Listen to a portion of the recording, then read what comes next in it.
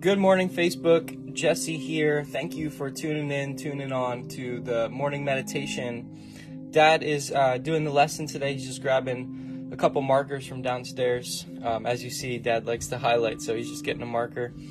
But we're going to be in Psalm 119, verse 153 through verse 160. And uh, Dad is back. So I'm excited um, for him to share with you guys this morning.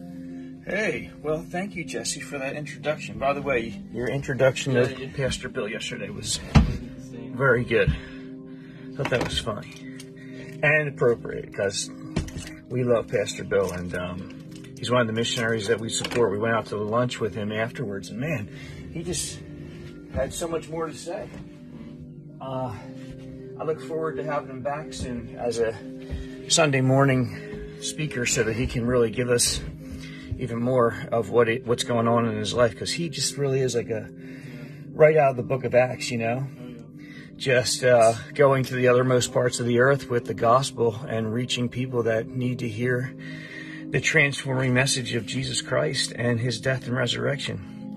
And we are going to open that transforming word again right now to Psalm 119. We're in this particular piece that's called Resh in the Hebrew. Um, and each line of this piece of this poem that is 176 verses long, this section called Resh begins with the Hebrew letter Resh as it moves through.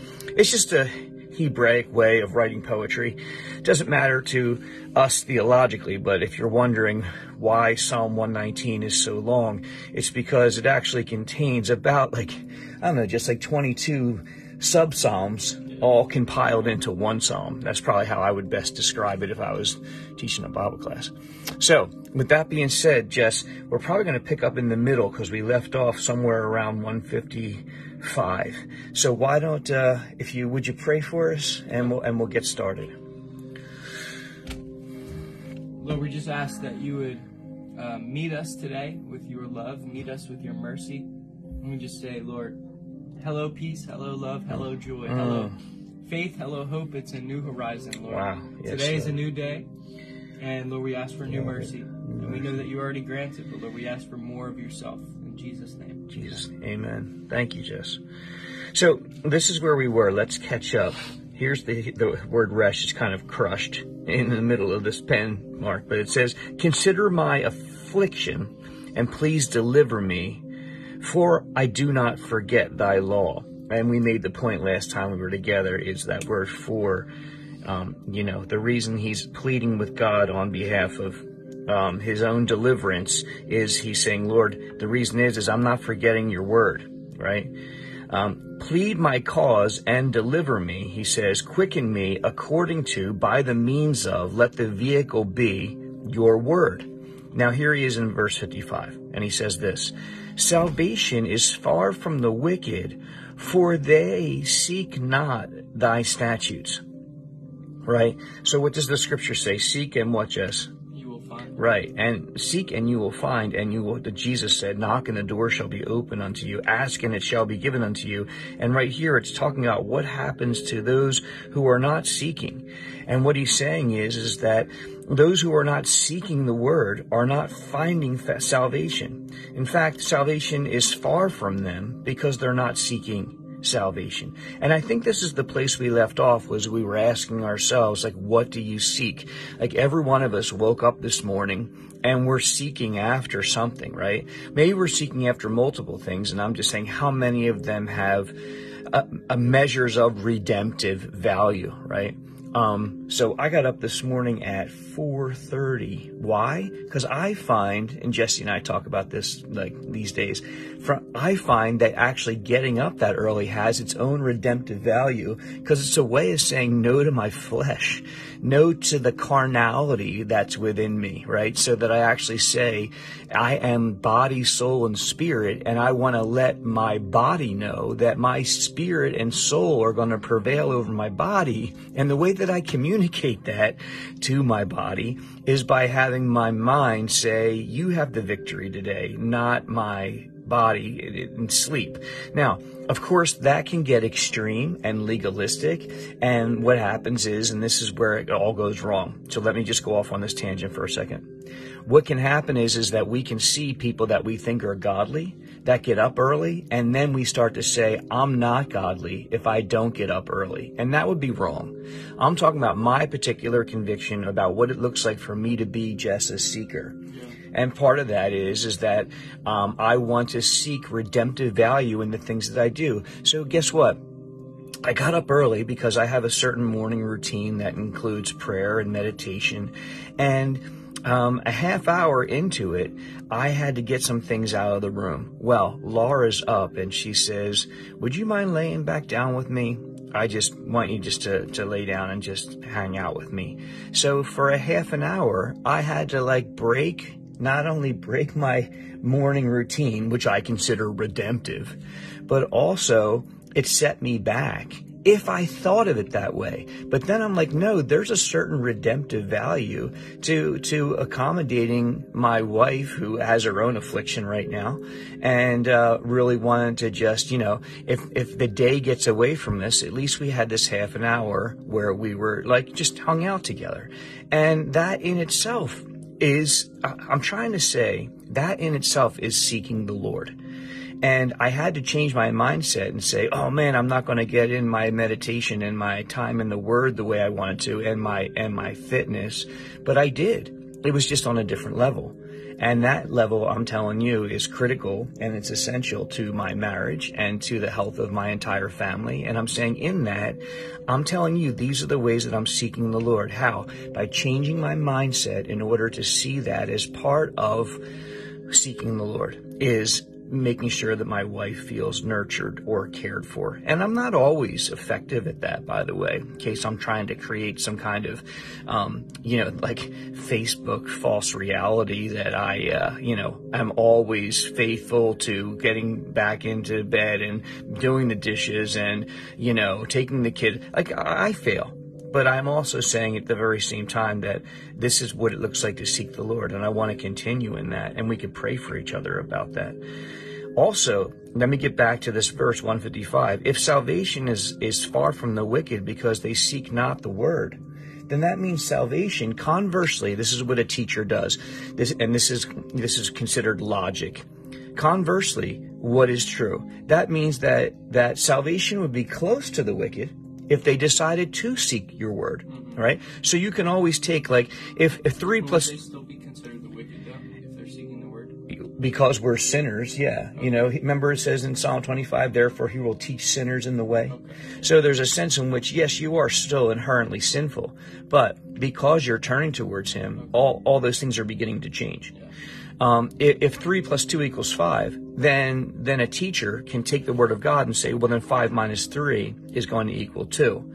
So if if sinners are far from God because they're not seeking Him, well, then if a sinner does turn to seek him, the truth is, is that they will not be far from God. Just an interesting thought for everyone to consider. For those of us who have prodigal children or dysfunctional parents that we can't lean on, just remember they're not, they're only as far from God as just a 180 turn towards seeking him. And God can do anything to make that happen.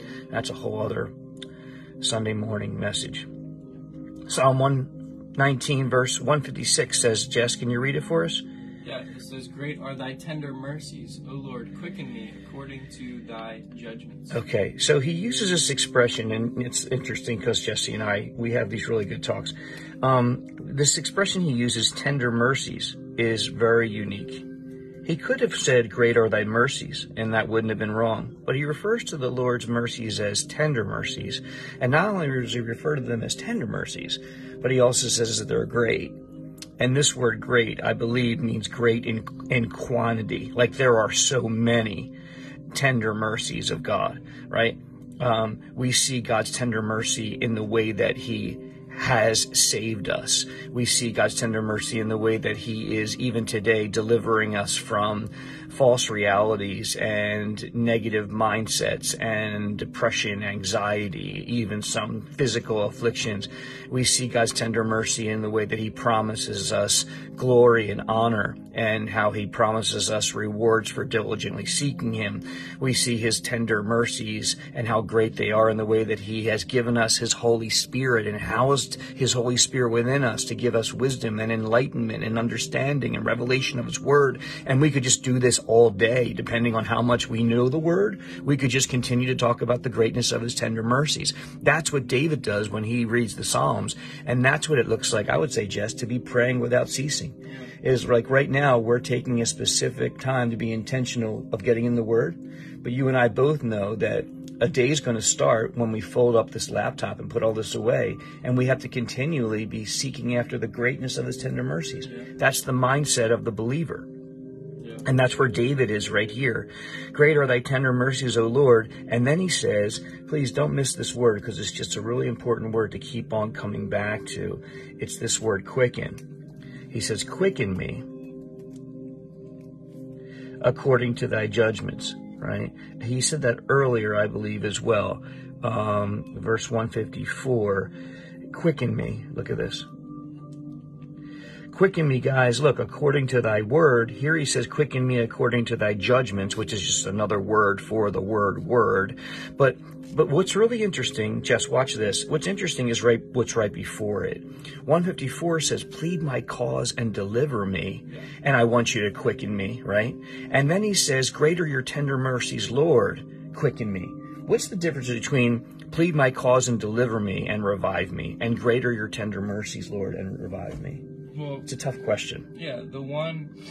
Well, he's appealing to uh, different things right. for the the same thing. Right. He's, he's, appealing to God to help him. I guess the word help uh, deliver is the word save, help, or rescue. Right. And revive is pretty much a similar concept. Um, you know, help me, Lord, strengthen me. So, in one case, he's saying, "Look at what I'm going through, so help me." Then he's saying, "Please my God, plead my cause." Like, God, look at my situation. And then he's now appealing finally 156 to God's love. Right. So first he's appealing to his circumstance. Yeah. Look what I'm going through, God. Right. Kind of like, look, look how hard this is. Help me. Right. And he's saying, um, God, you love me, so help me. So yep. Okay. He's so appealing to God based on who God is. Is everybody getting what Jesse's saying there? Because that, um, you know, the chicken drops down. Here's the thousand bucks. That's the that's the mic drop answer. Is that if you look at what's going on, Jesse's saying the first time he he he says he wants God to revive him and he wants the word of God to bring revival and he's saying it on the basis of needing to hear his cause like he's in a court of law and he needs deliverance he needs he needs rescuing. The second time he talks about God reviving him according to his word. It's not because of his listen, it's not because of his affliction. It's because of his affection. I wish I had t- room to write that. Um, I'm gonna maybe if I come down with affliction, and I just come down here, and I'm gonna write. I don't know, Jess. If you were to write the the word of God is there for us um, in the midst of affliction.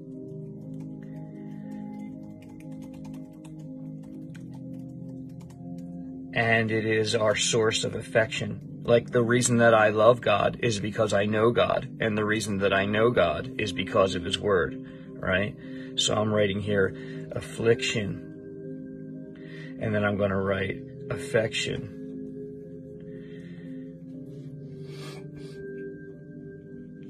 equals, and then I'm just going to write the word. Now, for me, I know what I mean by that because I'm connecting these two ideas here.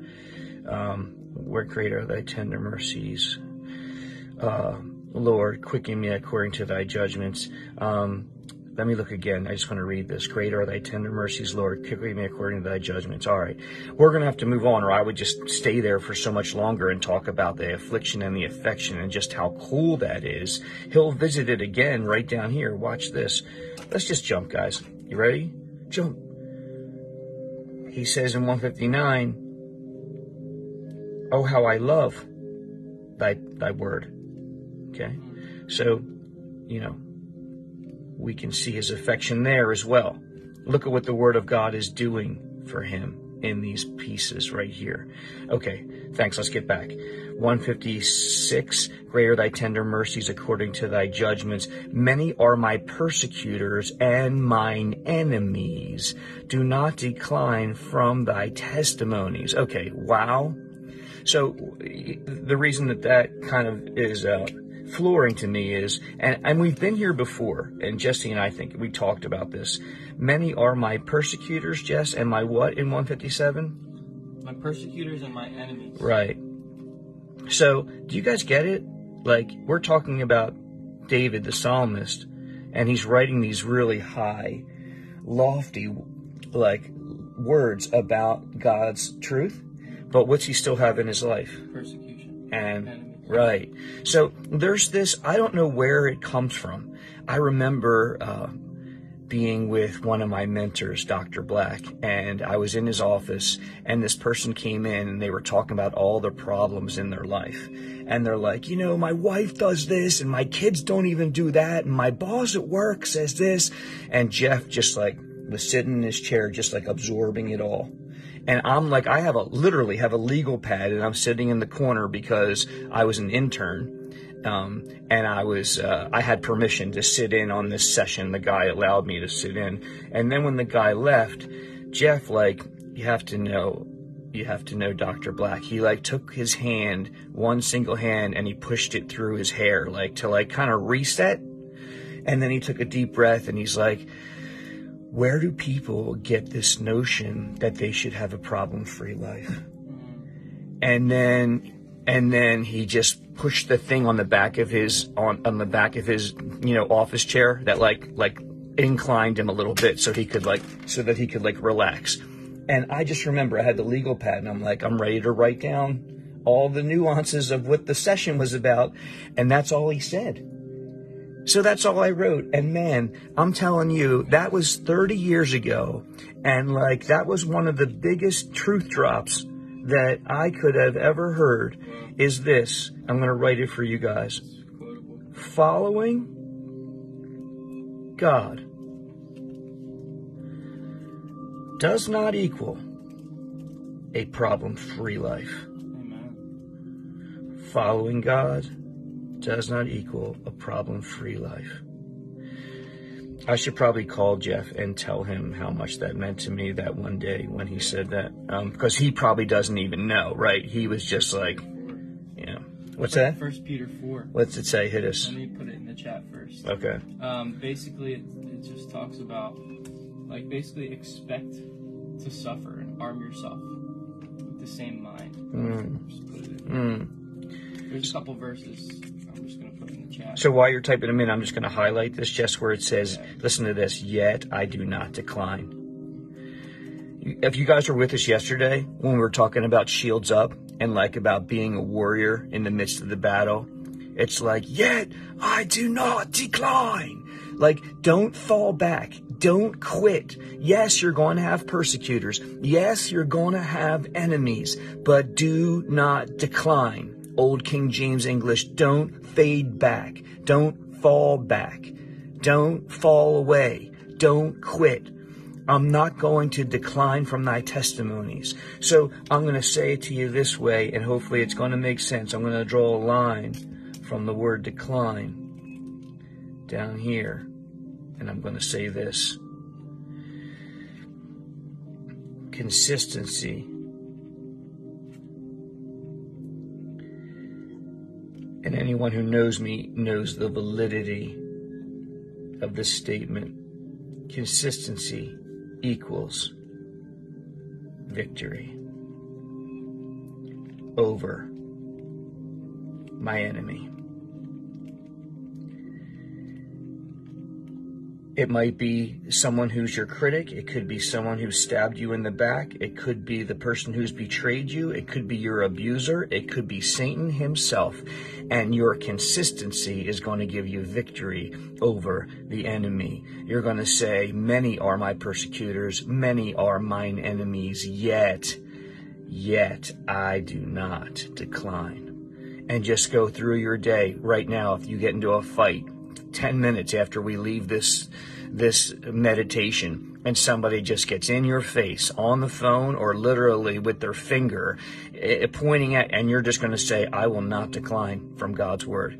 I'm going to i'm going to practice what, what we talked about on sunday which is aretes and self-restraint and self control because the fruit of the Spirit being born out in my life is that I'm going to have self control and I'm going to have self restraint and I'm going to be, remember it said virtue? I'm going to be of an excellent spirit. I'm going to reflect the character of Christ who absorbed it all from all the persecutors and from all the enemies. He absorbed it all on the cross. And anytime I'm able to absorb and keep consistency and have the victory, I become a shadow of my Savior's victory on the cross. Does that make sense? We'll move on to 158. Jess, can you read? Oh, you want to tell us what you had from Peter there? Yeah, yeah. So First Peter 4 says, For as much then as Christ hath suffered in this suffered for us in the flesh, arm yourselves likewise with the same mind. For he had that hath suffered in the flesh hath ceased. Ceased. This King James is getting my ceased. Ceased from sin. All right. Um, the hath and all that. Um, but yeah, it says Christ suffered in the flesh, so arm yourself. Basically, prepare yourself with the same mindset. Then 1 Peter 4:12 says, "Beloved, think it not strange concerning the fiery trial which is to try you, as though some strange thing has happened to you. Wow. But rejoice insofar as you share in Christ's suffering. And but uh, basically, like that reminded me of your counseling session or the one you sat in on. Like people think it's strange, right? When they go through a trial, they're like, "Oh, what's going what on?" What? Uh, yeah, yeah, exactly. Strange. Like God says, like don't think it's strange. Like don't think it's um something like unplanned or weird. Yeah. Like, abnormal. It's it's yeah. actually normal. That's gonna happen. Yeah. Yeah. So we'll look at 158 and then we'll we'll come to a close here. Three verses quickly. I beheld the transgressors. Okay. So right away, just because it's a morning meditation, this is like, I, I want to also not just talk about what we're pulling out as far as meaning, but how we study the Bible. So right now, I just read that verse and I'm like, oh, look at that. There's persecutors, there's enemies, and now there's transgressors. Do you see that? Um, you see the the mindset of the the psalmist as he's writing. Let's see what he says about them. He says he beheld them. Okay, hey guys, do you ever behold your transgressors? What do you think of your enemies? That was what I titled this little morning meditation. You know, what do you think of your enemies? Here, here's what he says. I beheld the transgressors. Okay. In other words, he, he didn't just see them with his eyeballs. He's, consi- he's beholding them. They're in front of him and he's considering them. And, and, and what happens is, is he's grieved. Okay, he's grieved. But why is he grieved? Jess, what's the rest of 158 say? And he's grieved because they kept not the word. Right. It, it, it look, Jesse, you know, he is a good pastor, and I really think that he'll, he's a good, he's going to make for a good shepherd of men. But he is an evangelist at heart. And it doesn't say that he was grieved Uh, with transgressors because they knew not the word. Because if someone doesn't know the word, we shouldn't be, we shouldn't be, another, another translation says, eh, they, I was disgusted with the Jesse uses the uh, ESV. I was disgusted with the transgressors because they kept not thy word. Uh, we, we shouldn't be disgusted with people that don't know the word because they're ignorant. But when someone doesn't keep the word, and you know what the word keep means? It means to possess it, to hold on to it, to, to, to, to hide in it. You know, like a keeper, like a zookeeper, a lion keeper, like we talked about the keeper of the gate or the keeper or the keep in the, in the location in the castle. When someone doesn't keep the word, now that ought to disgust us. You know why? Because that's what disgusted Jesus. So if we're reflecting the heart of Christ, and you remember when he saw the man with the withered hand, and he said, um, he said, stretch forth thy hand. And it said the people, the, the, it says that the, the religious leaders, they murmured against him because he was healing on the Sabbath. And it says Jesus looked round about them with anger. And then he spoke. And it was interesting, you know, of course, he talked about if it was wrong to heal on the Sabbath. But the point is, does that sound familiar to you? He looked round about them with anger. It's very interesting if you do a little study about how many times Jesus got angry. What really, what really angered Jesus, a la the money changers, two times in the Gospels. Um, um, you know, when he was with his disciples and they didn't let the children come to him it, what, what, really is it, what, what really uh, brings a passionate response to the heart of Christ is when there are people that are considered to be disciples, teachers of the word, and they're not keeping that very word that they profess or that they present. He's saying, uh, my, uh, my, I'm grieved because of the transgressors. They're not keeping your word. So let our hearts break for those who don't know the word but let us be disgusted, especially with ourselves in regards to those who don't keep the word. And I hope that that, I hope that that disgust is a sacred disgust, a righteous disgust, one that would lead us to um, a godly response, not to an ungodly response. So David then says in Psalm 159, Consider how I love thy precepts, that thy word, quicken me. Here he uses it again. Where's the orange? Revive me, O Lord, according to thy loving kindness. Quicken. And then quicken. You see this? This is a very, this is a, a, major word being used here in this particular, it's in 154, and then it's in 156. Now it's in 159. Quicken me, O Lord, according to thy loving kindness. There's that word again, Jess. Yeah. Um, very similar to tender mercies. He could have just said love, or he could have said kindness, but instead he says loving kindness. Were you going to say something, Jess?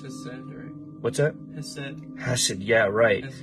According to thy loving kindness, right. It's a it's a very uh, tender word that he uses here about the Lord, the the covenantal name Yahweh for God, according to thy loving kindness. He loves he loves again. There's affliction, but you're also seeing affection here. So for the sake of time, let's move to this final verse, and it says, Jess, can you read 160 for us? Yeah, 160 says, Thy word is true. Um, you're going to need to put the Bible down so they can see a little bit. Oh, thanks. Okay. Uh, it says, Thy still a little bit. There you go. Thy word is true from the beginning, and every one of thy righteous judgments endureth forever. Good. All right. So now uh, he says precepts, statutes. You know. Um, so now he actually uses the word "word" here, and he says that they are true this is a powerful expression. They are true from the beginning. And Jess, how do you define truth? That which is consistent with that which is reality. Right, right. That which is consistent with that which is reality. And what is reality? Then, you know, if I was a philosopher, I would say, well, then what is reality? And then I would say reality is when you run into a brick wall and find out what it isn't right? So, in other words, like when you go through life, you come up against certain things and you realize that they are not consistent and that that is not reality. Like that helps you know what reality is. Does that does that help anybody a little bit? Thy word is true from the beginning. In other words, it, it's true from Genesis to Revelation. God's word is true from creation all the way to our destination in heaven. God's word is true entirely, and God's word is true throughout eternity like true. In a world today where it's hard to know what's true because there is virtual this and pseudo that and faux flowers that look so real and faux blinds like my blinds in my on my windows in my room they're called faux blinds because they have grain in them that makes them look like real wood and the truth is these things are just plastic it's hard. Uh, I remember going to Subway and I saw this hoagie, man, that just looked so good. And the whole thing was made of rubber. Like we hardly know what's true anymore. You know what's true? God's word is true. And not only that, it's true from the beginning. So isn't it interesting that there were things that might have been true, but they're not true now? I mean, if you look at a, a science textbook from the 50s and you look at one today, what was true then isn't true now. Um, this is the Word of God, and it's true from the beginning right? Or there are new truths that we've discovered that we never knew before. But this is saying, no, what was true is true and will always be true, right? And so I'm going to write that here. I'm going to write E N T I R E L Y entirely and eternally E T E R N A L L Y entirely and eternally exclamation mark right? And it's true from Gen to Rev right? And from creation to heaven Thy word is true from the beginning. Every one of thy righteous judgments endureth forever. So that's why I'm going to put circle the word ever. And then I want to connect those two concepts with each other. And man, I think we're going to have to leave it there for today. So I hope that was helpful to you. Man, there's so much to look at. And um, Jess, would you pray us in and maybe look at these things in particular in this passage, and we can use that as. Oh yeah, just please do. on the word of truth, and just put some comments of scriptures that testify to this reality. John 17, 17, Jesus says, "Thy word is truth." Proverbs 30, verse 5. Mm. Every word of God proves true. John 10, 35. The scripture cannot be broken. Matthew 24 35. Heaven and earth shall pass away, but my words shall not pass away. Mm, mm, mm. So look in the comments to see other scriptures that talk about how God's word is true. Love it. Love so it. So let's pray. Father, uh, we do thank you for your truth, Lord. We thank you that we have a anchor for the soul, a hope, Lord, a truth. Um, that one of your names, Lord, is faithful and true. Mm. Lord, with the world of deception and lies and the enemy who's the father of lies, Lord. Uh, we thank you that we have the Father of truth, uh, uh, who's yes, greater, Lord. greater than he who's in the world. Thank it's you, he Lord. that's in us, Lord. So help us to uh, continue in your truth and in your love all the days of our life. In mm. Jesus' name, amen. Amen. Thanks, Jesse. And look, if um, I'm going to ask one of you that's still online with us, would one of you um, put into the the comment section? Would you put a link to uh, the Sunday morning message from yesterday? It's probably um, it's up on YouTube right now. It should be if you go to Coastal Christian with Pastor Matt Stokes. If you could just put that in the link, there are so many people that just seemed really blessed by the message yesterday, um, which to me, right, is really blessed because. Um, I kind of thought I was flying around the clouds off on some tangential thoughts. And then I find out, of course, that the Holy Spirit was saying this is exactly what people are needing. And um, ironically and, and humbly, it's the parts that I actually didn't plan for 20 hours writing that week that actually were the most helpful to people were the parts that God just decided to kind of download right in the moment. And um, I think sometimes that's just the Lord trying to say, hey, man, this is always about me. So just always remember, um, you know, no matter how much you press your your jacket and you and you polish your shoes. In the end i'm the one who blesses everybody. You're the vehicle so thanks for being the pitcher but i am the living water. And um, i'm so blessed that people are are inspired convicted and whatever else the holy spirit needed to give to people seems to have been given yesterday. So if you didn't catch the message or you want to share it with someone else I would encourage you to do that. Um, it seemed like it was particularly helpful to a lot of people yesterday. And if it's helpful to you, please share by bringing someone, bring them into that redemptive space. 22 West Dawes Avenue is where we meet. It's Dawes Avenue School. That's where Coastal Christian meets. We'll be there again, if the Lord wills, this Sunday morning. And as far as these morning meditations, it's our pleasure always to be with you. And we'll be here again tomorrow. And hopefully we will look forward to seeing you there. That's right. God bless you guys.